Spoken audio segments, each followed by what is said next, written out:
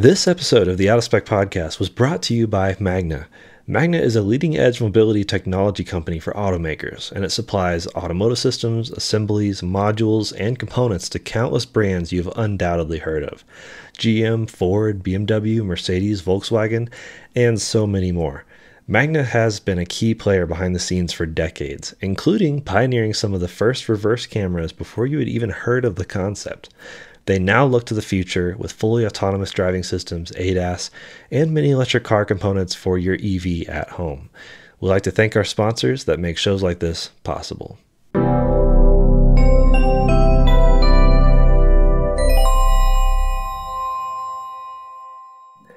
Hey, welcome back to the Out of Spec podcast. We've got Kyle, Ben, Mike, and myself, Jordan, here to fill your ear with some car things evs galore and oh uh, locking differentials and hydrogen and selling cars um, surprisingly. So let's jump right in. Uh, i don't even know where to start. We have a lot of ground to cover. Oh and adas. We're going to talk about um, mm-hmm. driver assistance systems and how incredibly wide they vary.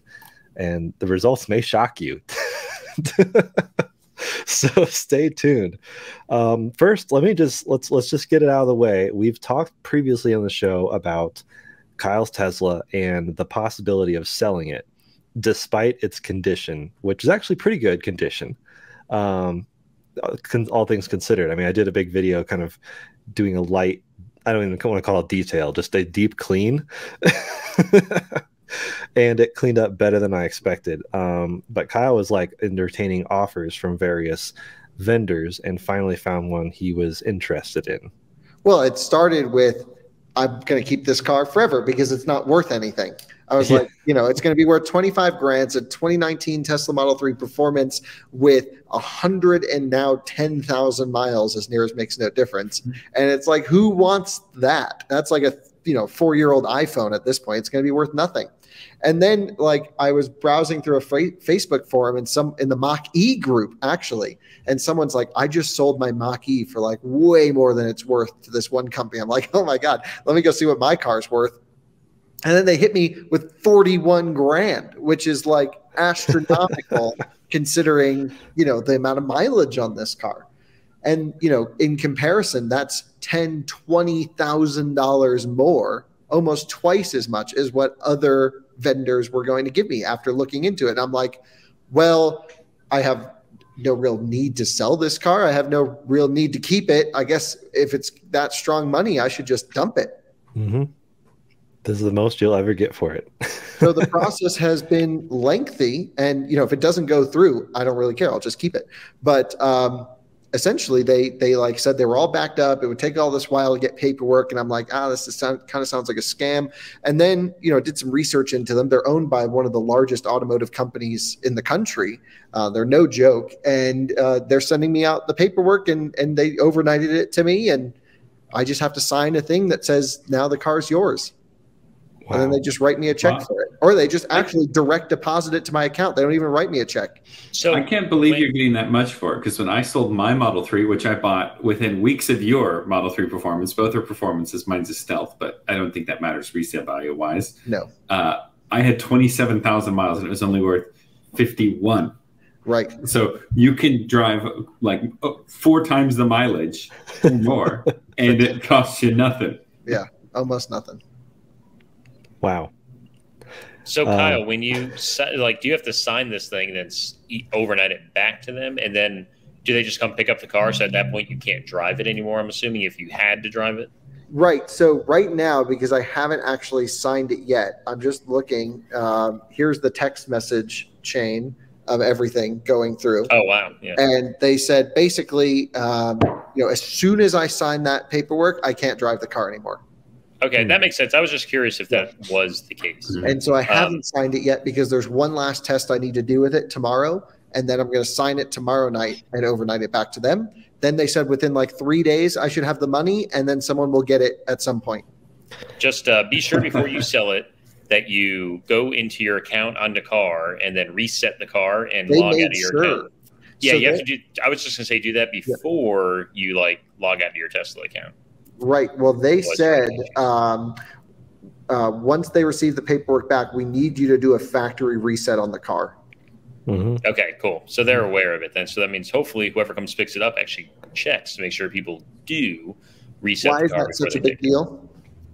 Uh, because for the next owner, or even for this company to have the car in their possession, they won't be able to do anything with the car. So the next owner, you will have to log out of that vehicle for them to get it into their app. You mean so for the Tesla stuff? To make your yeah, to have your own Tesla account, yeah. Oh, interesting. Well, I, I think they've got that figured out pretty well. And for supercharging. I guess I'll, I'll just send them a yeah, I'll send them a picture that shows I'm logging out, send a little clip, and we'll put it all on YouTube and document it. And can't wait to share that story.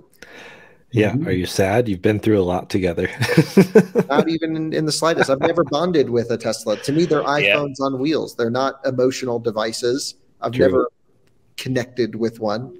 Yep. I, I love them. Don't get me wrong. I would buy another Tesla in a heartbeat. I followed. I was following a black on white Model S Plaid, my perfect spec Ooh. in LA yesterday, and I was like, "Oh my god, that thing is hot!" And he had it slammed, and it looked great. And so I was, you know, I I I love them, but to me, they're just uh, devices that are have. It's like a washing machine. Yeah, really, really fast. yeah, Tesla. Yeah, yeah. So yeah, love it, but but no emotional connection. That's part of why I like them so much. I can just beat the crap out of them, have no issue with anything, and then uh, you know get another one or sell it. True. Um, and then Mike and Ben, are you selling a car too? Sold a car. Oh, sold. Yeah, sold. go. I'll let Ben tell the uh, tell the actual story because it was basically his uh, doing to get it set up.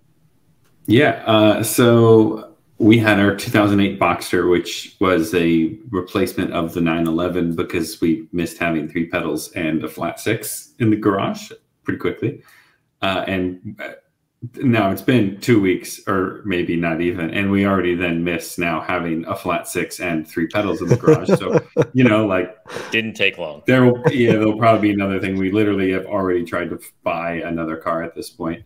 Um, and so I went to the dealer and I just said, "Hey, would you put it on consignment in the showroom because it's like the lowest mileage one of these out there, very clean." And so we ran it through PPI. They put it in the showroom right out front. It sold within an hour and a half on Saturday morning of it being inside. wow. And and you got all the money for it. Uh yes, yeah, yeah. Uh like 30 it sold for 32,000, which is quite good. Uh, wow. and the new owners are in love with it because it's probably the nicest 2008 Boxster that exists, I would think, or one of the Boxster nicest. S or just a Boxster? The base, the nice. purest spec. the driver's choice. I, it also had no over revs in its history, so it was never taken to actually, the The technician said it was the cleanest over report he ever had seen in his life. Really? he wow. said, "This thing's a cream puff."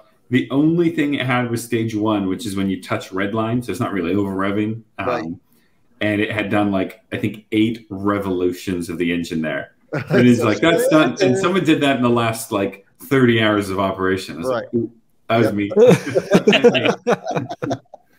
but uh, great little car. In fact, uh, anyone who this is what I would tell anyone who's shopping, especially if you're looking for a Porsche Cayman Boxster 911, doesn't really matter don't get so hung up on the S because the base is a ton of fun. Short yep. gearing on those cars. It, it, doesn't need to be fast. You're driving on the street. Who cares? You're not trying to win. You're not going to win the drag race in the S anyways. Might it's as well just save some money and have some fun. Listen to good noises. Yeah, I agree. Although I remember distinctly years ago, you and I test driving. I, I remember that 2008 yes. the Boxster, and us going, "This is way too slow. Only an idiot would buy this." Yes, yeah, we did. Uh, although at that time I was trying to find it. We were both in the uh, uh, like uh, we're both sitting with this concept of we both need faster cars, right? Which that, that was, was, not, not doing. Handling wasn't relevant to us at that point. We were like, horsepower was the only thing that mattered. Well, that's what happens when you live in the South. You need V8s or nothing, baby. Mm-hmm. The um, that one that you guys test drove that couple of that number of years ago, that one did not have the Porsche Sport exhaust on it. I bet because if it did, I think Ben would have bought it. I would have bought it because I just drove a 2016 16 base Boxster with Porsche sports exhaust. And when I tell you this is the best sounding car I've heard in my life, I mean it. Really? Oh, I'm tempted to buy it. Like I've been thinking about yes. buying this car for like two weeks now. wow. Because it sounds that good. It's slow, but it's all bite. No, wait, all bark and no bite. You get to enjoy. But it doesn't matter longer. because. Oh yes, yeah. yeah, and it does all the crackles and over rev noises and the little burbles and yep. It ha- a 2.7 liter engine does not deserve to sound that good. It's really amazing, actually. and it goes to show that like when you actually like buy the Porsche equipped exhaust from the factory, it's better because you get the tuning in the programming in the engine that then makes those sounds all the much better. Really. So on the Taycan, I should spec the sports exhaust. You should. I regret not doing the Porsche Sport sound. I think it's no, silly and fun. Get out of here. Ben, yeah, ben, no, I kind of wish we had it. Here, here uh, I'm gonna just anyone who's considering Taycan, you know what? Just get it. It's five hundred bucks, and if you want to do it after the fact, it's like three grand. So let me point out the GTS has a unique sport uh, yes. sound, which is the one you want, Kyle, right? And no. it's better. That's no. That's all dumb. Sorry. No, it's it's fantastic. It's no, the best fake all, sound I've ever heard. At least it's, it's representative. No, the nice thing about it is at least they're emulating real sounds that the car makes, mm-hmm. but it's not making that sound anyway. So I don't want it but amplified. Technically, it's but not it emulated. the downshifts. That's so dumb. That's the best part of it. Technically, That's it's so not dumb. emulated. It is an actual recording of the actual Porsche motor. Yeah, I don't want any of that. I'll turn it off. Yeah, but spec no, it for. Spec it. No, I'm not specking it. I'm de-specking it. Even if they charge me a thousand dollars to take it off the car, I'm taking it. yeah. Don't install. Well, uh, we should talk about the elephant in the room because I'm dying to know about your experience in um, California this past weekend, Kyle, because you drove the BZ4X, which we didn't give a glowing review, although it's not, it wasn't a review. It was a walk around and initial reaction to the car at, what was that, Chicago? Yep. Um, and now you actually went out and drove it. So there you are with Newcomb's Ranch for our uh, visual list or listeners, watchers on YouTube. Um, yeah. What do you think? So unbelievably interesting. Ah, nice. Interesting. All right, now I'm into because that's not the take I had on the more I've not on this cart. Everyone thought the it was front's be, a bit rough. Everyone thought it was going to be total hot garbage. Yeah, it's not. Not all of it, right? Some of it is the hottest garbage I've ever seen. That's what I was about to touch on. Some of it is really well. We'll good. get there. So, okay, let's start at the initial favorite things. My favorite things. thing. You know, yeah. I first off asked Toyota because we also had a Mirai this weekend. So we had BZ4X and Mirai. And not all the videos have gone up, but if you listen to our podcast, you'll get all the sneak stuff here. So for those listening, you'll know. The BZ4X, I asked Toyota, hey, can you deliver the Mirai and the BZ4X to the airport? So when we fly, we just get in the cars. They, you know, that's just the, what we do when we go to LA, and no problem. And I was like, don't charge or fill them. Like, just whatever they're at, just bring them over there because part of our coverage is knowing about the infrastructure and the charging times, especially with hydrogen. I've never filled with hydrogen before. So, anyway, BZ4X, we get it. It's about 40, 50% state of charge and like actually shows like well over 100 miles of range remaining. And I know how these delivery drivers drive. And I'm like, well, that seems mildly impressive. Like it's EPA range rated at 222. I thought it was going to be horribly inefficient. It wasn't horribly inefficient. At higher speeds, it was, but I never actually got to do a range test, and I'll get to why later on. So uh, driving it drives just like a RAV4 Prime, but better. It's snappy, it's relatively quick, the steering's good, it's the right size, everything feels like it's built really well. The UI actually isn't that bad and like cruising around. It has great driver assistance. And some people will only buy a Toyota. Like a surprising number of people are just Toyota people. Mm. And if they're the people. out of a combustion RAV4, a RAV4 Prime, or a Camry, or whatever they've been driving, a 1994 Corolla, and they get into this, it's going to feel like the future to them because it is probably the best driving Toyota aside from their sports car stuff ever. Um, you know, zero to 60 in seven seconds or something like that doesn't represent the acceleration feeling you get off the line.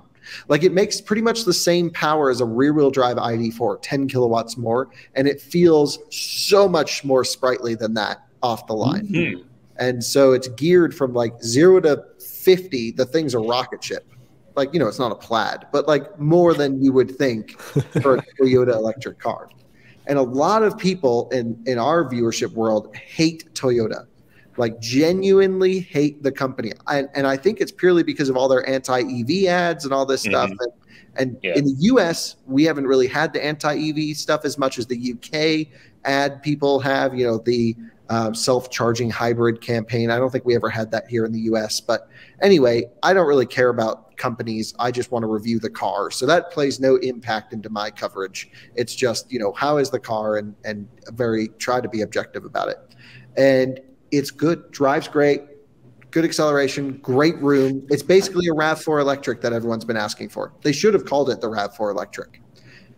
Here's where it You're gets right. really bad, like really bad. And I mean, the hottest of garbage. really, really, really bad. Ben, what is the longest charging time you've ever heard of on an electric car from zero to full? From zero to full? Uh, hour and 45 minutes, maybe? I think Mach E might take the cake at two hours 30 on the old software. Oh, is it that bad? Oh, you wait to full, full, full, like I mean, 100%? 100%. Oh, yeah. two hours was, I didn't even think, I was going to say the Mach E, but I didn't think it was actually over two hours. Two hours 30 on the Mach E. Oh. This, over, oh. well over five hours. Oh, you waited five hours? I kid you not. I was there till three o'clock in the morning charging this thing before I got annoyed at just sitting at 99% for 45 minutes before I left. Oh my God. DC fast charging, mind you. This is not like level no, two yeah. at a dealer. Like this is. You know what? I want to know is it, we're charging at one kilowatt at 95% on a DC yep. fast charger. If you plug it into a level two, is it going to do one kilowatt? That's what I want to know, but I actually ran out of time because I spent my entire weekend on the charger. That's all you did. Yeah. Oh my God. So, like when I do a range test on this thing, I'm going to at night throw it on the DC charger where I have to do it, wake up in the morning, get breakfast, work, get lunch, then it might be done. And then I can mm-hmm. do the range test because my plan was as normal is I do the charging test to 100% and then I do the range test because I'm already at 100 like that's the perfect time. Batteries are warm we're ready to go. Uh, I question. got How... to the charger I timed it just as the sun went down around 7 30 8 o'clock p.m and I was like great I'll charge it for I knew it wasn't going to be great. I figured an hour and a half two hours at worst um, because it, it they claim a 100 kilowatt peak rate I saw a peak of 86 kilowatts multiple times on multiple chargers trying to figure out why I couldn't get the 100. 86 or 87 kilowatts is the maximum. Uh, and it goes exactly one hour, two minutes, I think, from zero to 80%. So it's not the worst yeah. thing on planet. But it's like compared to a Bolt, like, okay, maybe. I think it's actually worse than a Bolt when you factor in the curve. I haven't tested. I mean, it's quite literally four times slower than like an Ioniq 5. Well, that's the thing. It cost 52 grand for this car. Oh, wow. yeah. Oh. How big is this battery oh. pack? 72 kilowatt hours. So at the same state of charge by Taycan, which I grant is a more expensive car, at like 90%, it's still pushing 100 kilowatts though. Yeah, but use Ioniq 5 because that's the same price as this car. Yeah. Okay. It's still doing that as well. it can do 200 kilowatts at 70% state of charge. This thing touches single digits at 80. oh my God. And Ooh, so this on a road trip, mm. you got to pull in so dead that it's unbelievable. And you got to charge it to the least amount of state of charge possible. Is it like 300 volts, 350? 350, yeah, 350 yeah. volts nominal. Um, just very disappointed. It's still unexcusably slow. And you know, no one at Toyota like knows what's going on, right? So like they don't know if it's pre-production software, this, that, the other. And I'm like, well, you gave me a car. I told you what I was going to do with it. If it was on pre-production software, you probably should have told me. I'm going to post the video. Like I don't know what, what else to say. Like it, I thought the rest of the car was going to be terrible. Like, the rest of the car is awesome, really is the car's great. It's got plenty of range, whatever. It feels nice. It looks pretty good in person, actually. Um, like I, I think it looked way better in person than it does online. I really enjoyed driving it to the point where like I was having fun in the canyons with it. Like I and it was awesome off road on a dirt road. We took it. It can lock axles, no problem. We put a video on out of spec overlanding.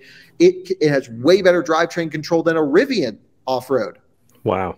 So some things are really good on the damn thing. And then you go and charge it, and it's like, holy shit! Literally, this is unbelievably unbelievable how bad it is. And the thing is, so many first-time owners are going to buy this car, and this is what they're going to think every EV is like. Oh, that's mm-hmm. scary. And oh, I so, had one of those, but it was so long to charge, so I don't think EVs are good. Yeah, you, right. I hear the conversations now. Also, think about charging station throughput, which is becoming a much bigger issue, which is yeah. lines at chargers. I cannot tell you how many EVs in California this weekend I saw charging to 100%. Tons. I was talking to some of them too, because it's just normal cars in LA, right? Like people just buy them. Mm-hmm. They they're not into cars. It's whatever. And they're like, oh, well, I thought that's just what you do. I'm like, well, no, you actually can shave like 40 minutes off your trip if you just stop twice and charge to 50% instead of stopping once and charging to 100. And this guy in the ID4 didn't understand. He's like, I do this trip once a week and I always do a 100% state of charge at this charger because that's what I need to make it. And I'm like, well, I just pulled out a better route planner and I showed him how much time he would save because I had all the time in the world sitting at this charger. And yeah, you're there for five and a half hours. You can do a lecture circuit. Yep. And uh, I mean, I could have gotten my doctorate degree sitting there. And so basically, I like showed this guy and saved him, you know, 40 minutes a week just by him optimizing charging. What is someone in a BZ4X going to do? Pick a new hobby. Maybe they can start like knitting Learn what are they even going to do for like media loans? This is what I don't understand. Automakers ask EVs to be dropped off as near as full to possible to journalists. Now, when we get cars, we say, you know, we're friends with all the fleet guys. We're like, just bring it up dead. We got plenty of charging. Like, don't waste your day. This is going to be an entire day of charging it to get it full for a journalist. Yeah. They're gonna have to like drop it off with a disclaimer. Must charge in your own time. uh, better really question. Bad. Uh, first off, weird thing. The front wheel drive supposedly charges better than the all wheel drive. I dislike that whole premise, but I want to go back real quick to charging. How much did it cost to charge it for five hours at an Electrify America station? No different because they bill by the kilowatt hour. Oh my God, you're so lucky. I know. You're so lucky that you're in the state with kilowatt yeah. hour billing and not by minute billing. that would be so bad. What is, hang on, let's do some math here. Um, I don't actually know the full time it took to charge, but it might actually be more than what I'm saying. It's definitely not less. What is it per minute on Electrify America right now? Roughly, do you think? No, is like forty. Is it North Carolina per minute? See, per minute makes a lot of sense for the fast charging cars. Yeah, the Ioniq Five is great. Past. Let's let's do benefit of the doubt. Can you see on your app? Uh, I don't know. It doesn't matter. Anyway, it would cost. say, hang on, real quick. Let's just say thirty. Ben's on this. I just want to know. Um, I don't know what he's not letting you go by the minute. North Carolina is by the kilowatt hour now. Yeah, it is by the kilowatt hour. There are some that are by the minute though. It could cost hundreds of dollars. Oh my god. Yeah, it's very possible. I, that's incredible. So why is it that if you want all drive, you don't get to charge quickly? Yeah, that's the other thing. Kilowatt hour. I don't know. So anyway, yeah, I don't know. Look, for the most part, people who understand the car, people listening to the show, are going to go zero to eighty, and that takes an hour, and then you get some amount of mileage. I don't know because I didn't get to do a range test what, because I I was stuck to the chart. Yeah. And it's not like I could leave early. In order to do a range test, I need to be full. Fair. You should have just started your range chest right when it was done charging after being there for five hours. I never let it complete. I didn't. I didn't have. oh, that's right. You never got to 100. it just sat at 99 for the longest time, and I'm like, just finish. And so, um, so you know, it could have been doing some sort of top balancing. It's possible the car's never made it to a full charge in its life before because it takes so long.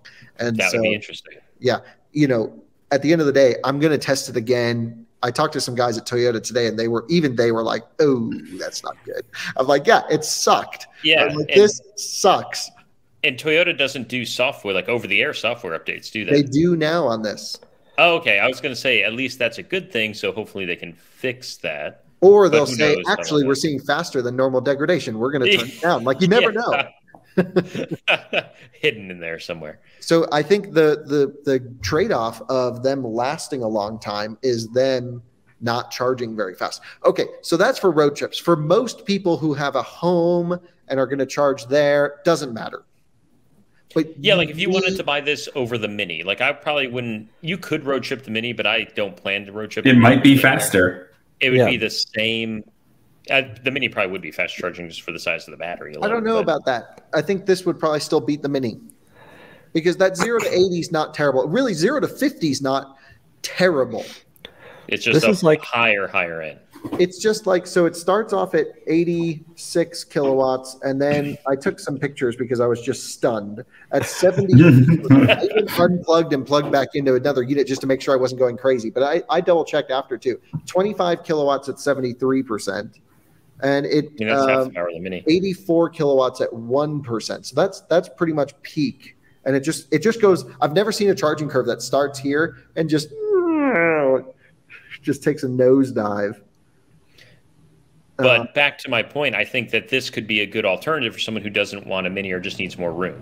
Like because the typical i think the typical toyota buyer probably is not going to take this car on a lot of road trips in general. Most people don't road trip their EV at least as frequently right. as this, no we might.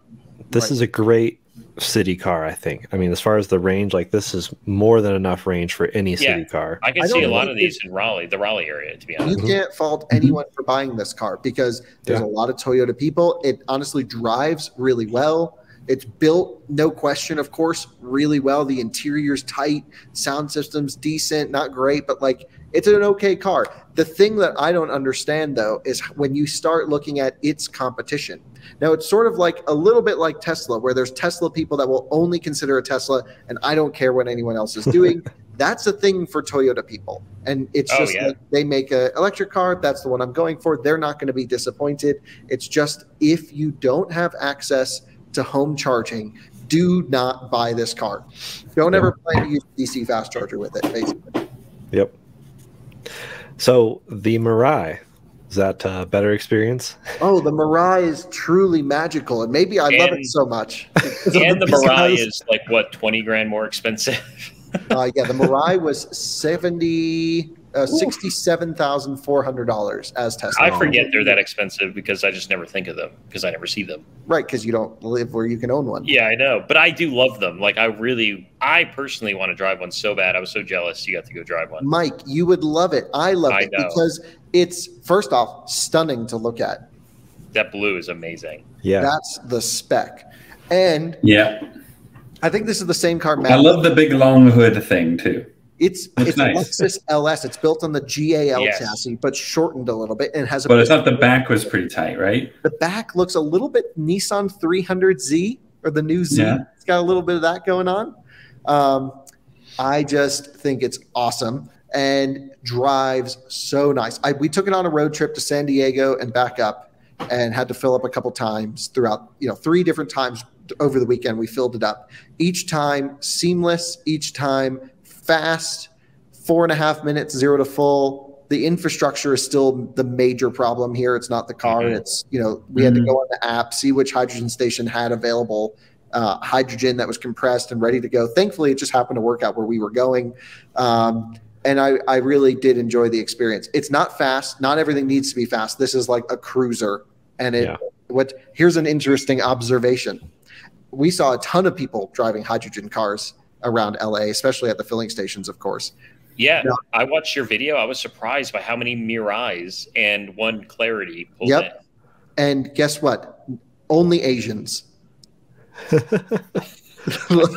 is there is there massive hydrogen infrastructure in like Asian regions, or is that just I don't know what where, they buy here? I don't. I think know. it's a Toyota thing. And I hmm. don't want to generalize based off of race, but I will say, like, there were only Asians. Not Did one. Did you see any Hyundai? What was the Hyundai one? Hyundai Nexo? made a fuel cell car. Exo, the Nexo, yes. yeah, that's cool. Didn't see any Nexos. Dang. Only like a million Mirais and one Clarity. Yeah. The Mirai is definitely the most popular hydrogen car. So. And only saw one ever. other new Mirai. All of them were the last gens. I remember seeing I a lot of last gens when we were out there. Even a few years ago, they were everywhere. So my understanding, we met, we talked to a few hydrogen. I asked everyone I saw basically um, a couple people were like, yeah, the infrastructure kind of sucks, but like when it does work, it works pretty well. And they're like, I just check the app and sometimes run out in the middle of the night to fill up my car. Like, and then other people were like, literally never had an issue. It's been wonderful. Wow. they must only go there like they hit the peak time, the off yeah. time every time. I don't know. So, you know, I've I've actually only heard horror stories with hydrogen. I've never heard a positive one. I've never heard someone drove a hydrogen car and filled it and had a good experience. Well, it's like going to Costco to get gas. You never go to Costco and get gas and have a good experience because you're always waiting in line. I only don't think I've ever done that.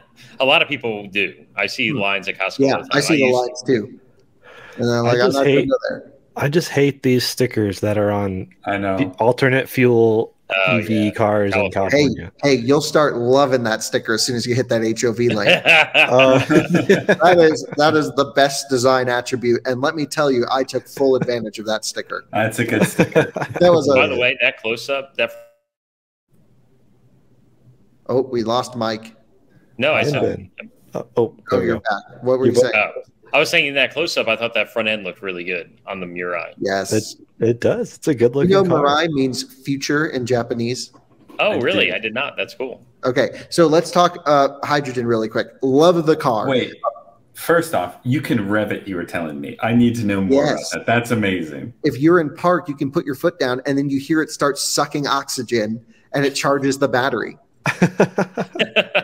So it's it's a non-mechanical system. So you just hear like air. Well, is there a blower? Well, there the is or? some mechanic. Yeah, because there's a supercharger, was what they call it, which forces oh. compressed air yes. through a through a carbon filter and a PM 2.5 like HEPA filter thing, mm-hmm. and cleans the air needed to make the chemical reactions because it has to be pure pure. And it sounds like a turbocharger without an engine. So it goes. Whoosh, and if you pop off the throttle, you hear a little blow off to pop pop off the pressure. That's wow. kind of cool. cool. Although now I'm realizing that fuel cells require maintenance, like well, no, what air filters and whatnot. Yeah, I think you do need every you three need air years. filters. I think it's very minimal. Hmm. Probably not as bad as a normal car, but still also, more than an EV. Fuel cells are affected by altitude. Hmm. Huh. Oh, so Colorado. Oh, yes, because yeah. the air. oh, this is fascinating. Yeah, I know. You don't want to have a naturally aspirated fuel cell. you need the supercharged one. it's all I. You know, I don't know why it's taken me so long to drive a fuel cell car. Maybe because I've just fallen into the hype that everything's really stupid and I hate this technology. And I'm not saying well, it's the superior technology to battery electric. It's fascinating stuff, though, to be able to play around with it. For some and, people, it works. Yeah yeah, well, yeah. Regardless if it it's works, the most it's fascinating cool. powertrain I think right now for someone like you or me to dig into and be like, how does this work? Because it's right. alien technology. Yes, it's really weird. It, it, like I don't see any convenience gains to me over EV. Like EVs charge no. pretty quick these days, and home charging's ideal unless you can get a hydrogen station at home, which I don't think would be cost effective. I don't but like the fact that you can hear some noises that like maybe a hydrogen sports car could be kind of good. Like well, I would put up that's what I was thinking. it up for that. So if so, you need uh, basically volumetric size. So you need a you need a lot of space for a tank. Mm-hmm. But, but you, if you replace an engine with a tank, uh, then then technically it would weigh less than a battery electric sports yeah. car, and in theory you could have more power. And so yeah. there could be performance applications for hydrogen. Now, okay, let me get to the hydrogen thing really quick. By the way, before I do that, we have a hydrogen filling station literally right below me. It's right right outside over here. And it's the only one pretty much in the entire state of Colorado, except for one other one. But it can do the full 700 or 70 megapascals the full big boy charge. And it's here at our office and it hasn't been turned on yet. We're waiting on the power company to commission it, I guess. But here's what I was thinking even though it's not the superior technology to battery electric, there is enough future coverage from our side of hydrogen trucks and hydrogen school buses mm-hmm. and medium and yes. heavy stuff that I was thinking we should buy a Mirai uh, or have Toyota loan us one for six months or a year if they would yeah. do that and live with it basically on a leash from our office. We'd have a 150 mile tether. My house. I'm right, you should be commuting with it. And the goal would be to pile as many miles on this thing in extreme temperature conditions, under extreme elevation conditions, and just figure out the real world limitations to the driver of hydrogen vehicles. How yeah. does it do with very, very cold temperatures? I'd be wondering because yep. if you're if you're in, emission is water. There's heatings everywhere. Freeze? Yes. Oh, are there? So it can only work to minus 30 degrees C, which is minus 22 F, which that's pretty good. Can, in the mountains get that cold like one day a year. I would yeah. park the car up there on that coldest yes. day. That would be one. so it has a heated tailpipe or something, maybe. Oh, do you want to? Do you want me to go through the water situation? Let's, yes, let's go through the water situation, please. okay. I've never been more interested in an exhaust system in my life. and, and I'm not claiming to be an expert. It's just I read the owner's manual over lunch, and I think I figured out how it all works. So just casual, right? Well, Alyssa hated it. We're like sitting out this Mexican restaurant, like because when we when we, when she goes to a Mexican restaurant, we're like in a Mexican restaurant, like you know, and and people are like looking at me reading this owner's manual like I'm crazy. Um, we're the only people that don't speak Spanish in there too. So they're like, what is with these people? Yeah, there you go. uh, so there's there's a couple things to think about. Yes, so there's heaters all throughout to stop the water from freezing. Wow. There are a couple considerations. First of all, there's an H2O purge button on the dash, which mm-hmm. just sounds awesome. And so it is cool. Feels like a submarine all, button. When you floor it, it does dump water. And Alyssa's like, every time you floor it, you're misting me. And like, that's hilarious. And I was driving up Angeles Crest and there was a motorcyclist behind me. I'm like, I wonder if I can cool him down on this hot day by hitting him with some water. Well, but I didn't. Do you remember when we were in your mini in California and we, we thought this person was spraying their windshield wipers like an absurd person. And we were, that was when we were following a Mirai, I think. really? I don't remember I don't that. the Honda one. Yeah, yeah I don't yeah, remember we you ever like, telling you that. We thought he was like oil, or we were told us, and that's what was going on. It's just going down the highway. Everyone behind you is getting little specks of water over their cars. That's so funny. So with the new Mirai, at least it it tries to store it all in the holding tank, but obviously at wide open throttle, it does purge some out. And I think like if you don't want to get your garage floor dirty before you pull in, you can hit H2O purge, dump the water, pull in the garage, and have a clean, you know, non-wet floor basically. Mm-hmm. Um, and in the coldest of temperatures, they say you really don't have to do anything about it. But there are two scenarios where you need to do, I think it's called a full water evacuation. Oh, that's a good name. Evacuation. What the heck? It's like and, escaping from a plane over the ocean. yes, the ship is sinking. And so the first is if you're in extremely they I think they wrote Arctic conditions. If you're in extremely mm-hmm. cold conditions and the vehicle's being pulled on a trailer, which means tons of airflow, which means maybe I'm thinking the heater couldn't keep up with it. That could freeze the water inside of the fuel cell stack. And so there's another situation too, which is if you leave it outside in the cold and you unhook the 12 volt battery, because then the heaters would shut off, I guess. That's a very and weird so, situation to be in.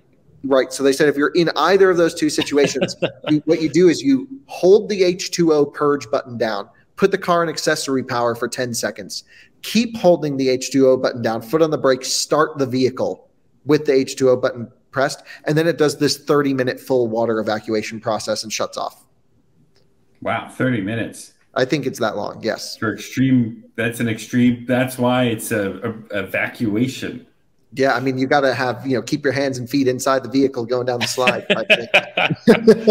I mean, it's it's crazy to think that at some point Toyota must have been testing all these crazy situations this car could be in and what could jack up this hydrogen fuel cell. And those were the two. They're like, we can't have any water in the system for these two situations. And so that's truly fascinating. It is. Okay. So can I just talk about the negatives of hydrogen because I think that Absolutely. those are like the positives. It's really interesting. The car's funny, and I think we like I liked it so much because first off, it's a luxury electric sedan when it boils down to it. Is how it drives, which Love is already fine with me, and it handles pretty well. And it's definitely got like a little bit of a sportier edge than the LS. So like cruising up in the canyons, like it it didn't love to be thrown around, but if you just progressively rolled into it, took a nice set, no understeer, really nice. Um, and the steering was truly wonderful. So I like the fact that it drove so well had me going. It was pretty slow, but acceleration doesn't matter to me in some cars, and this is one of those. So here's the downside. With a hydrogen vehicle, you're taking electricity, you're then splitting water in an electrolyzer station, creating hydrogen, which then you have to compress as hydrogen mm-hmm. gas, which then you have to rapidly cool to minus 40 degrees C or thereabouts. And then you have to fill into a vehicle, which then has to go through this entire process to combine with oxygen or to, to do, yeah, combine with oxygen to then just turn it right back into electricity. Not only that, you might have to transport it from the place that it's created to the station in some instances. Absolutely. And then there's a lot of dirty hydrogen. The majority of hydrogen is produced by natural gas and a few other byproducts. Oh, and it's very carbon intensive compared with a clean generation station. Now, our station at the office is an electrolyzer station that can be powered by solar, wind, hydro, uh, or just hooked up to the grid. So, this is the cleanest form of hydrogen generation. The big question is you're still spending more energy, like your round trip efficiency is still less doing it this mm. way, even though it's still clean. Like you could put that be six elsewhere. You know, six kilowatt hours to get one kilowatt hour of equivalent. I don't think it's that bad. I think it's like I think someone said it takes 44 kilowatt hours to make one kilogram of hydrogen, and that's 33 kilowatt hours worth of energy. Okay. So, so it's not as, as bad. It, yeah, it's not. And then terrible. there's the efficiency of the vehicle getting it out. You know, maybe that's yeah. 80, 90%, whatever it could be. But be. for like passenger cars, it's like, well, just plug your EV into the wall and just take the energy yeah. and put it right into the thing. But then again, EVs need big battery packs that require a lot of natural resources and are a lot of weight and are heavy and expensive. Here, you just have some tanks, which are not cheap because they're all carbon fiber reinforced polymer mm-hmm. line tanks and everything. Um, and, and it just doesn't seem to be the perfect technology for a passenger vehicle, especially considering all of the infrastructure, which is extremely expensive, that has to go in and all of this. Now, not saying is, EVs are easy either. Is it more energy dense though? Like per weight, I'm sure it is. yes. By the time it's in the vehicle, space and weight would be less than a battery electric vehicle. So maybe airplanes or something. You know, there's well, definitely some benefits to it. I could see for for for aviation, sure. For medium and heavy duty trucking, definitely. Yeah, and that seems to be the the real key component here. Is passenger cars. I think battery electric works. Now, like I said, if our hydrogen station gets turned on, I'm 100% in the market for a Mirai because I haven't even told you what they are used yet, by the way. Sorry. This thing was There's 70 nothing. grand. NIRS makes no difference.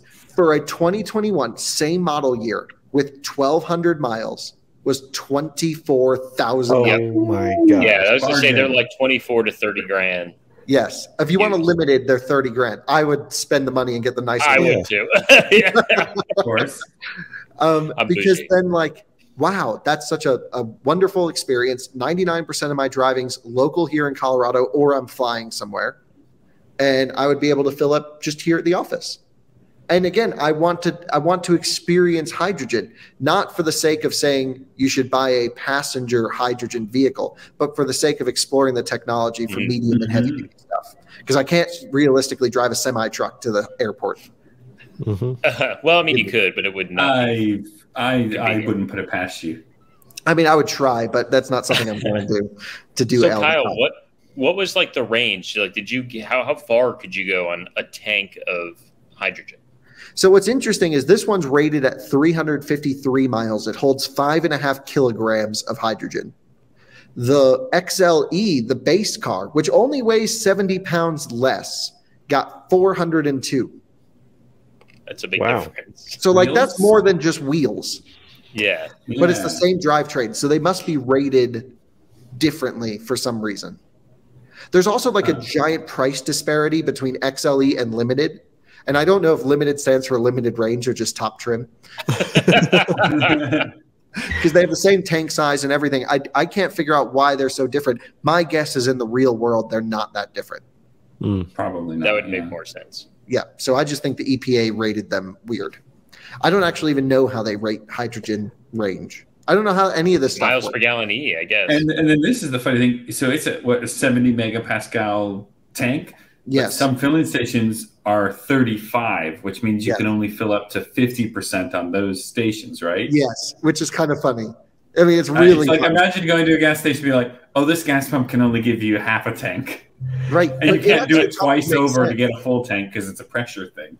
It right. makes sense, but it's interesting. I'm guessing all the ones that you encountered are can you fill a 35 car for 70 or would it just go pop? Uh, no, you can use a 70 for anything. Oh, good. Okay, so, so all the new ones are 70 it's like an 800 volt charger at that point. Yes. And so basically any of the station, all of the stations we saw had a 70 component. I think it's just like the handful of really early stations have just H35. Mm-hmm. Uh, but that's more. There's more exploration I want to do with this. And so definitely want to do more road tripping, find all the different hydrogen stations, learn about how they're used primarily in the passenger car space to understand how it can be used for larger applications. Yeah. Now I know we. I always hear about how expensive hydrogen is, and that when yeah. you buy a Mirai, you technically get like fifteen thousand dollars to spend on uh, like hydrogen refilling the car. Yes. So how much was did it cost to fill up your Mirai that you had for a few days? Yeah, like zero to full. I, and again, I don't know if we got like a cheap station or an expensive station. yeah. but based off your your no your real right. world experience, where a lot of Mirai owners were going, by the way, so I don't think they were like jacking the prices up. Yeah, uh, it was eighty bucks for a full charge. Okay. Full tank. So it's like filling up a Lexus gas. GX. Yeah, and, yeah. and I was getting you asked about range. We were seeing about 280, 290, but I was doing 85, 90 plus allegedly. Yeah. It only does 96 miles an hour. It won't even hit 100. Wow. Oh, maybe I'm getting that confused. Maybe that's the Buzz Forks. yeah, I, actually I think, no, I think you. I think when you called me, you were telling me it did the Prius top speed, 112. 112, allegedly. Yeah. All new Volvo top yeah. speed as well. In the owner's manual, you must have read that. Yeah. Right. Exactly. That's exactly what happened. uh, yeah, so I would say like beating the snot out of it, driving it normally, you get 300 miles. And here's the main benefit I found for the passenger car space. Really, the only benefit over a battery electric vehicle, because with a battery electric vehicle, you charge it home, and that's its main benefit. Is with a BEV, especially a BZ4X to compare to, it can take a very long time to do a 100% charge at a DC fast charger. And many people only have access uh, in LA, especially to public DC charging infrastructure. Uh, instead of being able to charge up at their apartment. With a hydrogen car, you just go boom, 100% drive away. Yeah.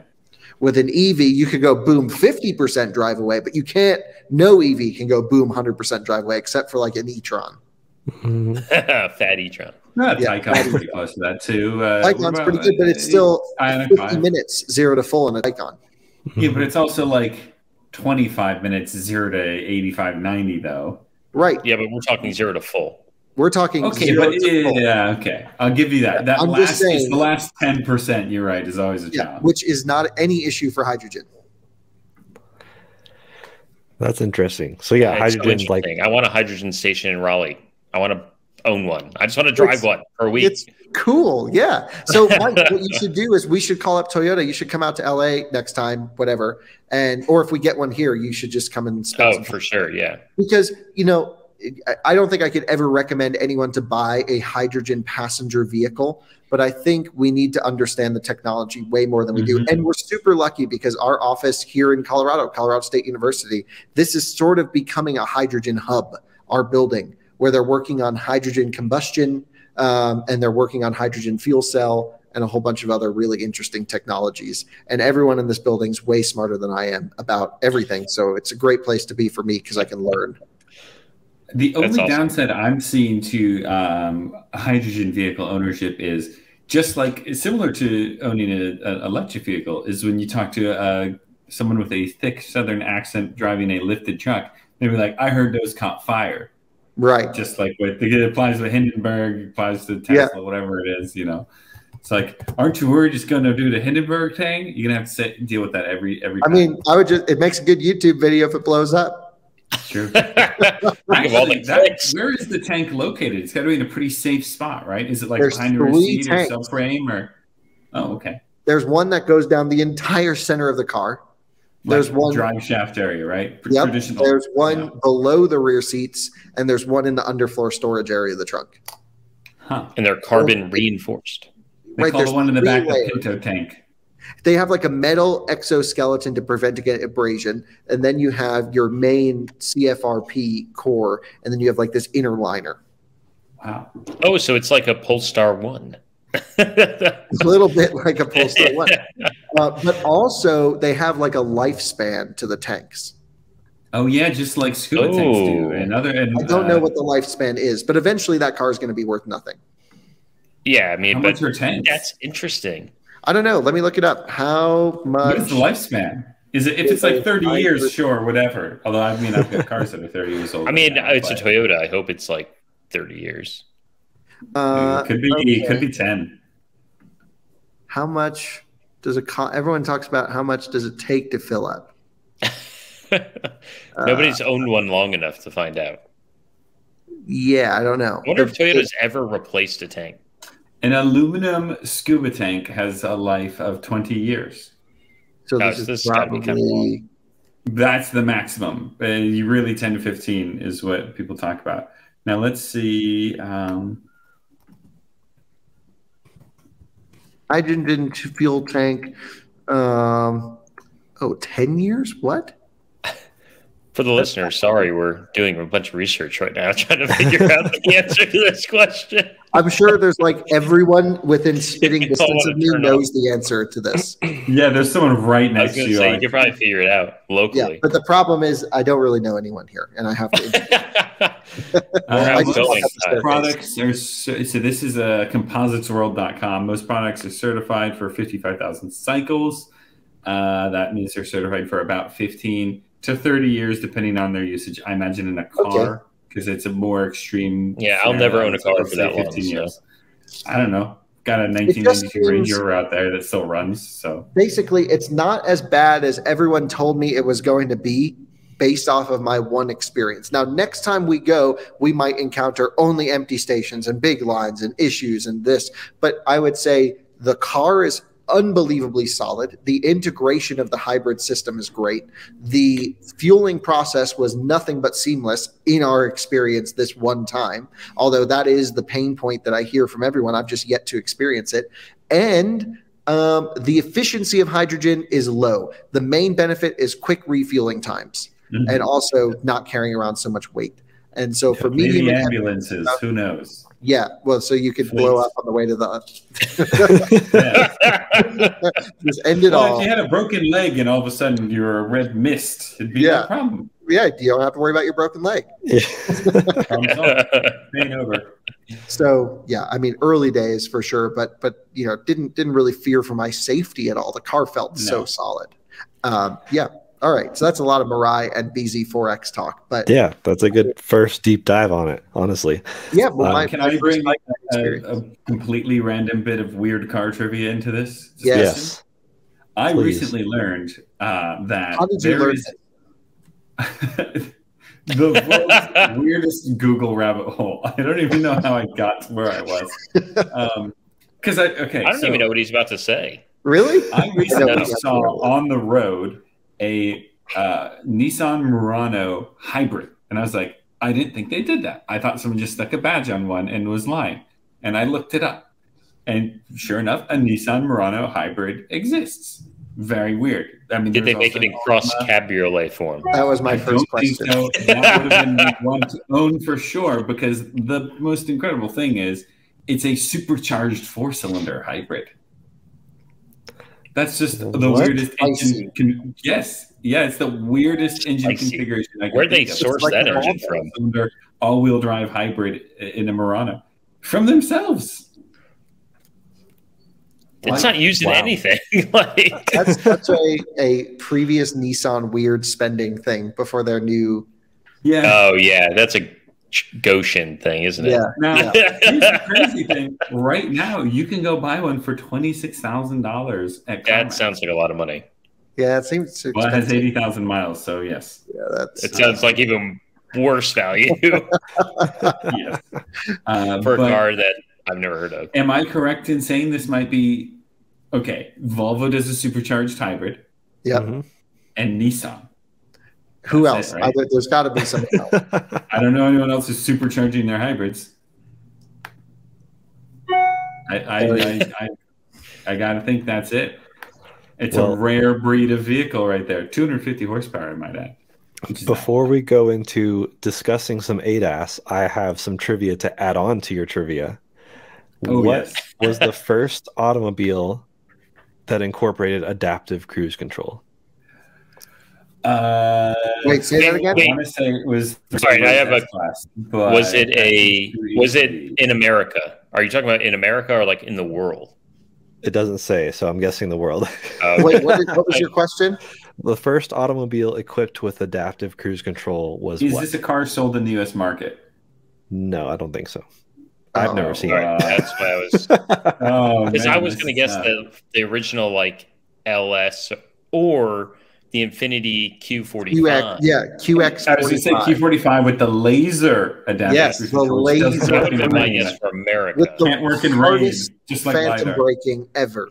My dad Yes, owns if a leaf goes in front of a laser beam, Okay, that's a car. I have- the. I have the answer for the And world, but headlights. also the U.S. Okay. All right, uh, what's the world? I'm dying to know on that one. Mitsubishi Diamante.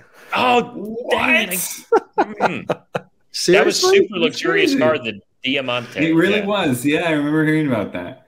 It was Those to were compete sold with in like the an US, LS. Yeah, when did Back that? when Mitsubishi had money, which they don't anymore. yeah, so that was They They were winning rallies at that point. Wait, Ben, do you remember like 10 years ago we went to a Mitsubishi dealer? I was And- thinking Yes, of this the other day. Can we talk about that experience? Wait, first we'll talk about the Mitsubishi experience because it's it's a world. It's a different world. But I want to know the U.S. car with adaptive cruise control now. A 1999 S class, Okay, Okay, would've that- that makes sense. Yeah. and the Mitsubishi was 1995. Wow. Wow. Is that big of a difference? I Yeah. bet you that system is terrible. Was it radar based or Uh, laser? not sure. Do they not say? Haven't- Mitsubishi probably done, doesn't even haven't know a these days. Camera based. But yeah, like um, I'd Yeah, love yeah, to yeah. bring that to Mitsubishi dealer. I'm like, can you fix my adaptive cruise control 1995 Mitsubishi Diamante? That'd be great. Yeah. Um, So so we went to a Mitsubishi dealer, and it looked like they had gone out of business. I think inside. there was literally a TV on the ground, like a giant CRT TV the 80s. yeah, like when you It walk into the showroom, though. It was right? playing like old VHS Yes, Mitsubishi ads. VHS Mitsubishi ads Yes. on Was- CRT. And Oh, we did have like Mitsubishi 3000 something like that. GTs. No, No, they they had were like like relatively shitty- current, but on something. VHS. Oh, Yeah. like a Eclipse. Like the Outlander was on it, I think. Yes. Um, And the Outlander. Eclipse was still on there. Yeah, like the third, the last gen Eclipse. This was like when it the Mirai, no, if- what am I saying? the Mirage got was. it its was brand new. Right when it was. We the rushed to three-cylinder- Mitsubishi like dealer to 15. see the brand new, newly released Mitsubishi So- Mirage. I think it's a joke. Yes. We were both equally excited to see it still. Well, because we had never driven a three-cylinder engine up until Yeah, that point. that's, what it true. was. It was that was like the first three-cylinder in the US, probably even. So the the Diamante, it was called Preview Distance Control, and it was that's a laid, good lidar name. based, and it was Ooh. it controlled your speed by throttle control and downshifting, not with brakes. Right, a lot of early systems didn't Yeah. use brakes. Uh-huh. That makes Yep. sense. Very cool. But the anyways, 911 I had did all cruise control speed via gear changes. So if you went down a hill, it would drop down the gears. Yeah. Still dumb. but we on a dumb. previous podcast we introduced the hogback trials or challenges but we've been running a lot of cars through that what are we up to five now um, and more to come but there's a lot of variety in the um, i guess the end result but we started with the yeah the golf r which was so yeah la- the first podcast we talked about this we hadn't even run it yet we just had conceptualized it so we Mhm. started with the golf r did really well. Manual with lane centering, adaptive cruise control, the whole bunch. It, it even showed other cars on the screen in the driver's gauge cluster. Like, Do you want to explain what the challenge is? yeah. So the challenge, uh, it starts at Dakota Hogback, which is the base, the entrance to the Rockies at I At the. Woolly Mammoth parking lot. Yeah, in the Woolly Mammoth parking lot name. at the Dakota Hogback. There's a lot of dinosaur fossils found in the area, so that's why there's a lot Love of it. uh, I want to go. Yeah, and a Good one. hogback is actually a geological term for uh, like kind of thin, rocky strips of Mhm. mountain kind of thing. So um, we start that and take it up basically 50 curves and um, 30 miles round trip. Um, I did like Kyle's uh, reaction to uh, I guess Inside EVs wrote an article on our Porsche one and got like everything wrong. Um, but we yeah test everything on a series of curves and it's pretty intense and the we have a points system that we're still you know refining and tweaking but um, seems to work pretty well so far at least as a good judge of how each car compares to each other regardless of the points we can actually pit the cars up against each other and see how well they do so we deduct points if we have to take over in some sort of like either emergency situation or if the car like just gives up its control Um, and it's even worse if it gives up its control without even telling us it's canceling cruise control. Um, Mm-hmm. And there's points for things like you know capacitive steering wheel and eye uh, cameras Tracking. that read your eyes and make sure you're paying attention. Um, so yeah, there's a lot, but we've run the Golf R and the uh, Porsche Taycan with InnoDrive and active lane keep. And um, let's see, we've done HDA one and the Hyundai Santa Cruz, and we're about to do Tesla and Mercedes. Um, so we've got a lot. Yeah, Which Mercedes? GLS 450.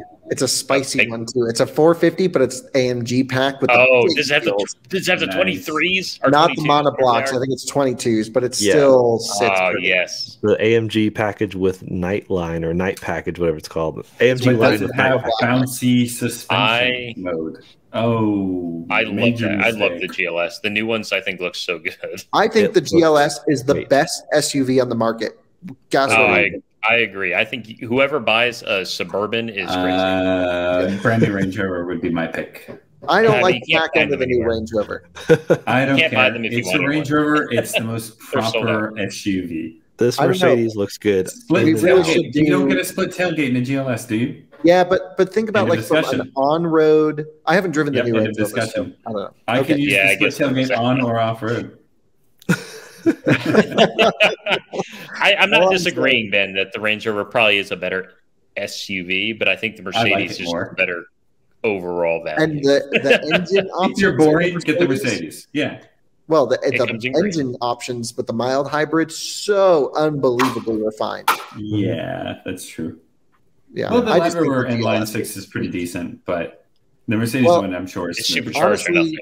But but what I think would be the, the top supercharged. lineup. We should do a Cayenne Range Rover GLS.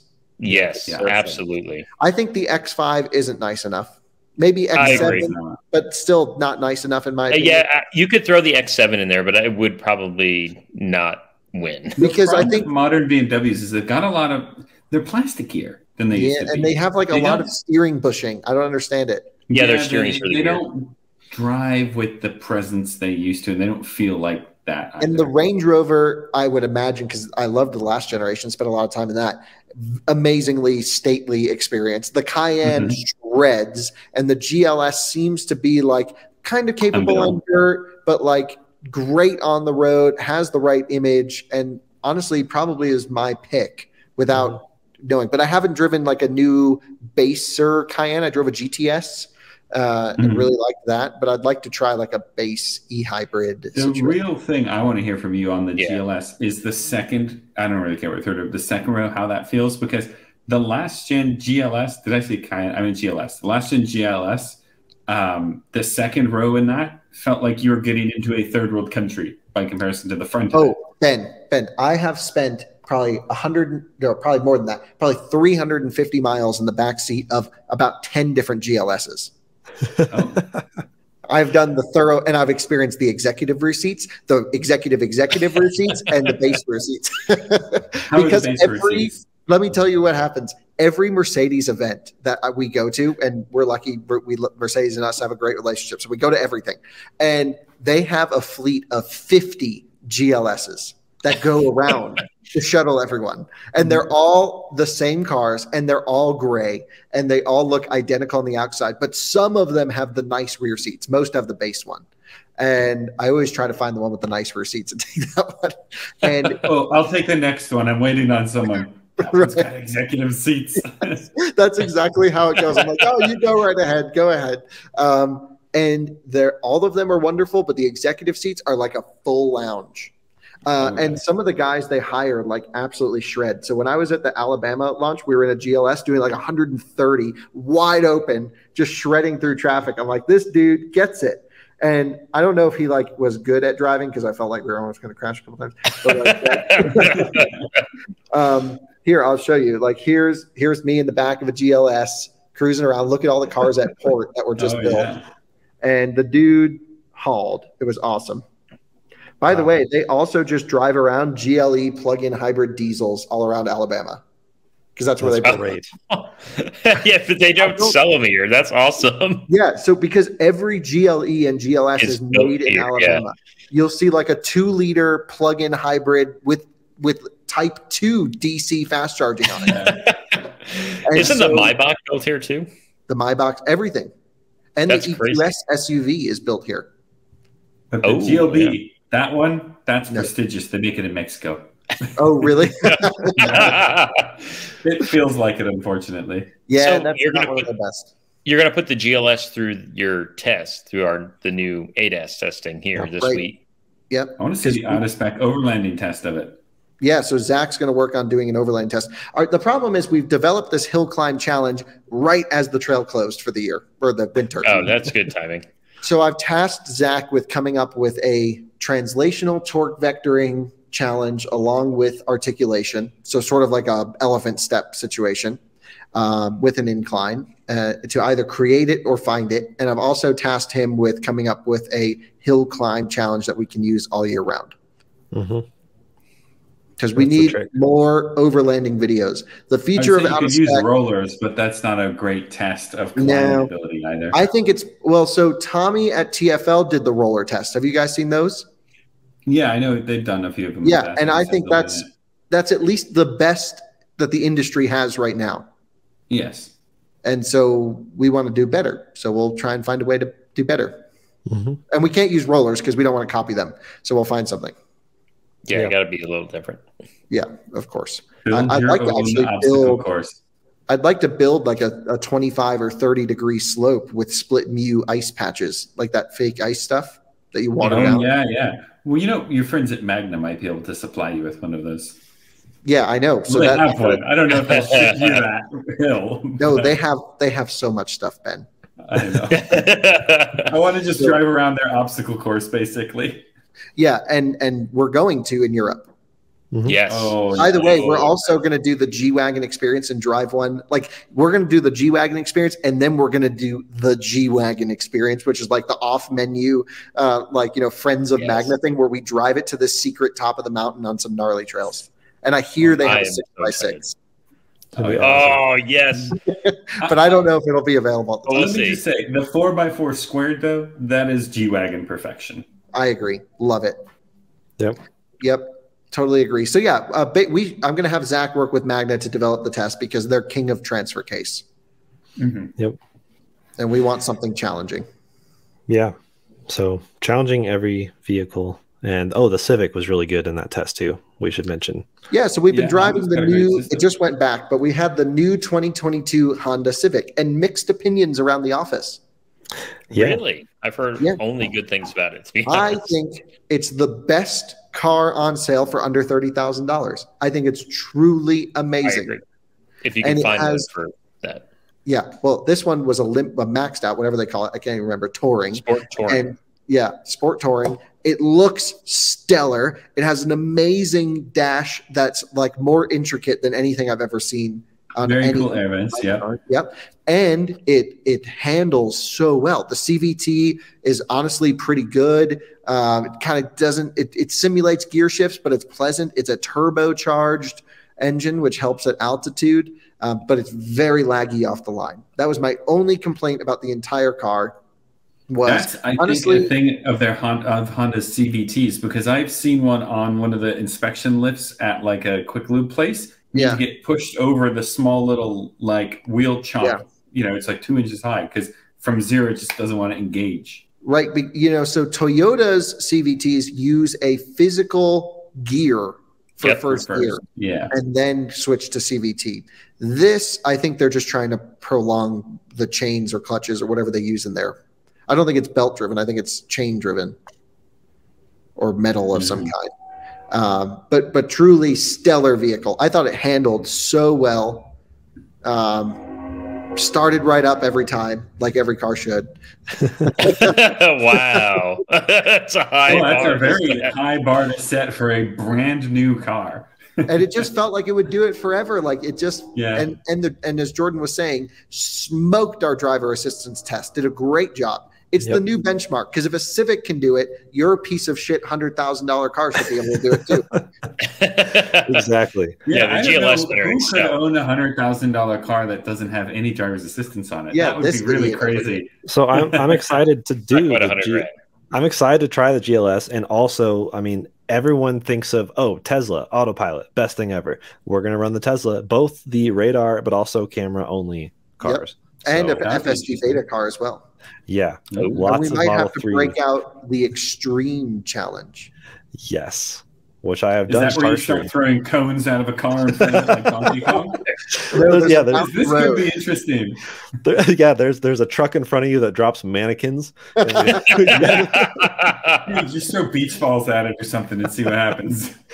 No, there's another road just north um, that does the same effective thing, entering Wait, you into just, the mountains. Oh yeah, just north. Yeah, uh, Highway Six, which is also called, oh, what's it called? Um, is that a good name? Yeah, uh, Highway, uh, the Grand Army, Grand Army of the Republic Highway is its other cool official name. official name that's on Google cool. Maps. Yeah, so um, that's the that's our extreme challenge. If a car can, you know, do the hogback challenge really well, we'll take it there and see how it does. Well, we Which, wanted course, to with the Rivian, but then but, like it needed to be pre-mapped. Pre-mapped is so dumb. Oh, it's like Super Cruise. Yeah, yeah. it's dumb. But, yeah, yeah, that's a little dumb. No, anyway, really I, I am not a fan of mapped systems. No, me either. Yeah. Okay, but, so yeah. what else have we been driving? We got anything else, Jordan? Um, I mean the Santa Cruz. Did we talk awesome. about well, we told we were going to talk about translational torque vectoring with the Rivian, oh, we haven't yeah. even talked about that yet. Oh yeah, Did some off, I do want to hear about that. I know, yeah. I know we're a little over an hour, but let's keep going. It's a free show. No one's paying yeah. to watch this thing. no one's watching anyway. Yeah, we'll have to dock all you listeners thirty minutes on the next one to make up for it. So the next one will be short. no, I say longer the better. Let it rock and roll. Yep. Yeah. So, so yeah. I, I I watched your your test with Rivian, and my biggest fear was sort of realized, which is that when you have quad motors, which theoretically should be the ultimate in off road wheel control, it looked like a lot of time wheels that kind of spin, and the wheels that had grip weren't just getting that getting that shove they needed. Yeah, I think the powertrain control is definitely in its infancy with Rivian right now. The only way they can go is up. Let's just say it that way. It's amazing for like 99% of driving right? I don't think anyone's going to really run into these issues. But as soon yeah, as you start hardcore off road, right? Right. As soon as you start wheeling it, like I mean, like getting wheels up in the air and everything, it has to do basically differential locking simulated. We call it a virtual locker to apply power to the wheel that is not spinning. So, situation wheel in the air. I have a video on Twitter of it basically getting stuck. Wheel in the air, right? So, front wheels in the air, front right, back left. Mm-hmm there's only you know sort of diagonal axis wheels have torque which means it needs to not only do a front rear split that's easy it's got motors everywhere it needs to also do a adjustment um, you know left right. And so what was happening was the Rivian knew that the wheels were spinning because it wasn't just putting a million miles an hour on the wheel that's in the air, it was slowing them mm-hmm. down. And you could hear it applying torque to the wheels that had the traction, but it wasn't applying enough torque to get it up over the hump. Now, the driver does play a role here, and I don't think Will was going wide open throttle. Mm-hmm. On the flip side, Will's used to driving a torque or sorry a fully locked differential off-road vehicle where if a wheel is in the air spinning all of that excess torque that would have gone to that wheel is now actually mechanically transferred to the wheel with torque. Mm-hmm. so you only need a tiny bit of throttle to actually walk your way up stuff. And so the Rivian does require a little bit of a different driving style and a little bit of a counterintuitive driving style to mechanical lockers where you got to just mat the throttle or or you know go deep and say, you know, that motor needs more current than I'm putting in with my foot. I'm going to go hard throttle. And you know whether that's the correct strategy or not i'm not sure the big question to me though is even if it could do all those obstacles and do everything is virtual locking differentials the answer or is having a two motor system with a physical locker inside of the gear train of that electric motor the answer. Yeah, being able to tie left and right physically together so you can use the torque of both of those motors even and still apply to one side if needed. Right. So I've now driven two electric S or pickup trucks that have independent rear motors at least. So Hummer EV and Rivian R1T, both off road, and both virtual locking systems sucked. Yeah. Uh, and, and, the thing is, like, it, it seems to perform the way a traditional car SUV all-wheel drive system does, where it's using brakes to grab stuff. But instead of having, it's not having these brakes to grab stuff to shift power, but the end result of how you drive it and what it looks like on the outside, as far as power going to where it needs to go, is kind of the same. And I felt like yep. I was drinking the Rivian Kool Aid for a, a hot minute there. I'm like, it's you know individual control. It's so great. Like you don't need differentials, you don't need any of this. And now I'm looking at it, I'm like, it would be so much better if it had differentials all of a sudden. So so there's two ways to fix yeah. So so I guess my main issue with it is not the rock crawling thing. I'm not afraid of putting the pedal to the metal, right? And climbing mm-hmm. up stuff. That's not ever been my issue.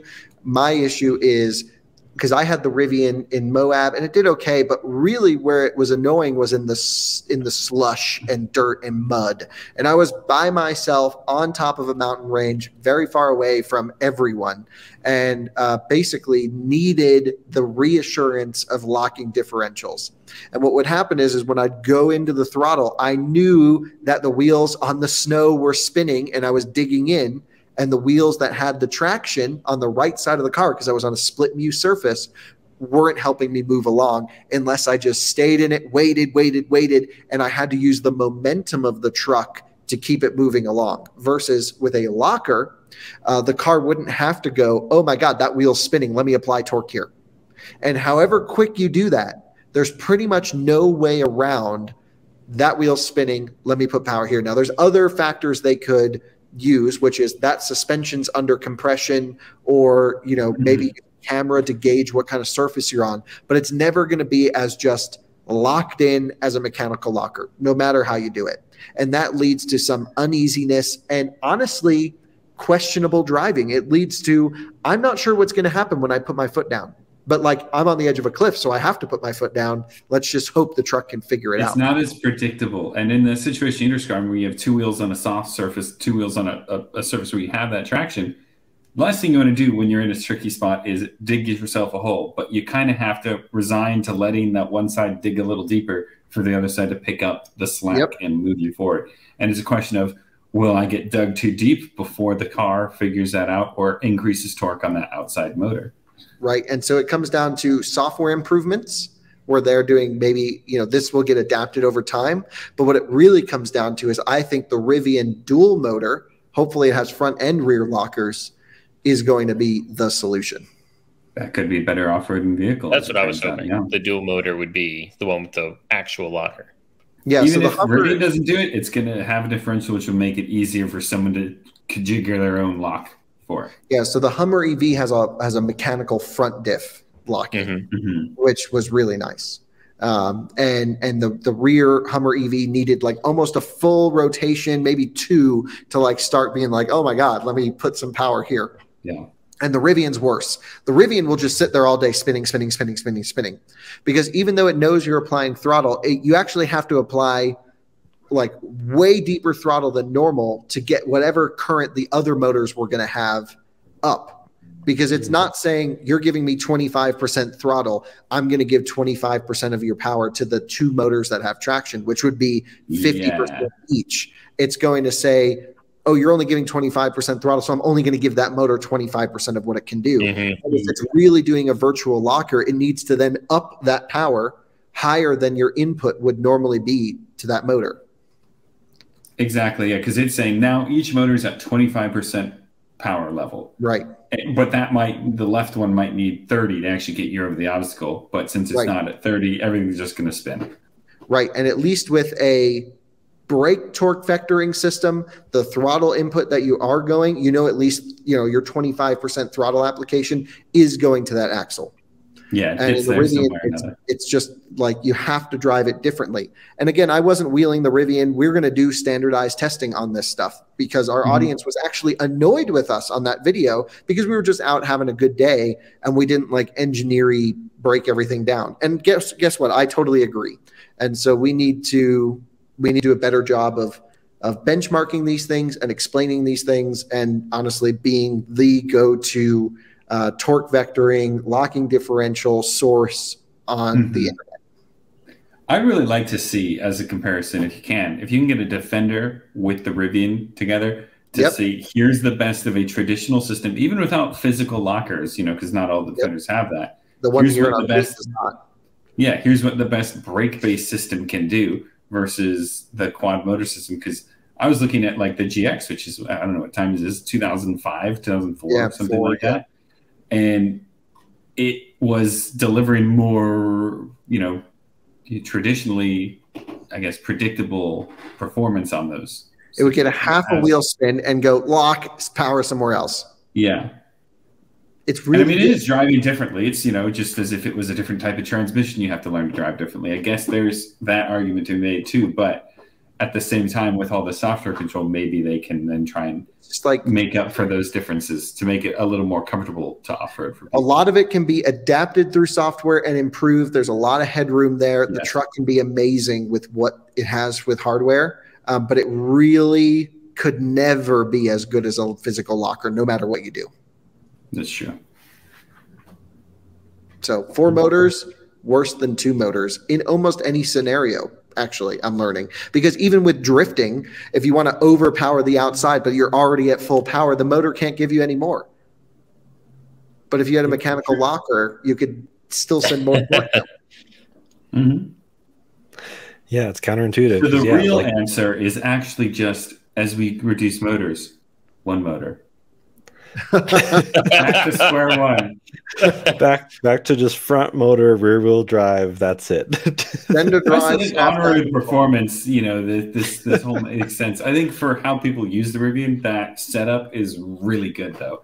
I don't know what benefit the four motors give you in daily driving.